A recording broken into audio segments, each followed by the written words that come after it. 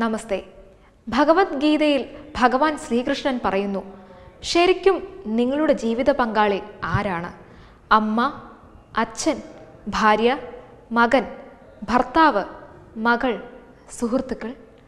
അല്ല നിങ്ങളുടെ യഥാർത്ഥ ജീവിത പങ്കാളി നിങ്ങളുടെ ശരീരമാണ്. നിങ്ങളുടെ ശരീരം പ്രതികരിക്കുന്നത് നിർത്തിയാൽ ആരും നിങ്ങളോടൊപ്പമില്ല. നിങ്ങളും നിങ്ങളുടെ ശരീരവും മാത്രമാണ് ജനനം മുതൽ മരണം വരെ ഒരുമിച്ച് നിൽക്കുന്നത്. നിങ്ങളുടെ ശരീരത്തോട് നിങ്ങൾക്ക് ചില ഉത്തരവാദിത്തങ്ങളുണ്ട്.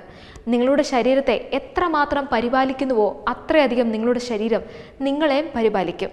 നിങ്ങൾ എന്തു കഴിക്കുന്നു? ആരോഗ്യവാനായി നിങ്ങൾ എന്തു ചെയ്യുന്നു? സമ്മർദ്ദത്തെ എങ്ങനെ കൈകാര്യം ചെയ്യുന്നു?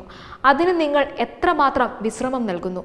ഈ അവസ്ഥയിൽ കൂടെയായിരിക്കും നിങ്ങളുടെ ശരീരം എങ്ങനെ പ്രതികരിക്കുമെന്ന് തീരുമാനിക്കുന്നത്. നിങ്ങൾ താമസിക്കുന്ന സ്ഥിരമായ വിലാസമാണ് നിങ്ങളുടെ ശരീരം എന്നോർക്കുക.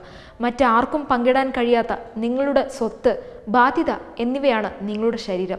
നിങ്ങളുടെ ശരീരം നിങ്ങളുടെ ഉത്തരവാദിത്വമാണ്. കാരണം നിങ്ങളാണ് യഥാർത്ഥ ജീവിത പങ്കാളി. എന്നേക്കുമായി ആരോഗ്യവാനായി ഇരിക്കുക സ്വയം പരിപാലിക്കുക. പണം വരുന്നു പോകുന്നു. അതുപോലെ തന്നെ ബന്ധുക്കളും ശത്രുക്കളും ശാശ്വതമല്ല.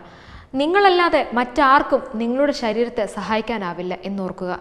അതിനായി നമ്മൾ ശ്വാസകോശത്തിന് വേണ്ട പ്രാണായാമം മനസ്സിനു വേണ്ടി ധ്യാനം ശരീരത്തിന് വേണ്ടി യോഗാസനം ഹൃദയത്തിന്റെ ആരോഗ്യത്തിനായി നടത്തം ആമാശയത്തിന് നല്ല ഭക്ഷണം ആത്മാവിന് നല്ല ചിന്തകൾ ലോകത്തിന് വേണ്ടി നല്ല കർമ്മം എന്നിവ നിത്യവും ശീലമാക്കുക.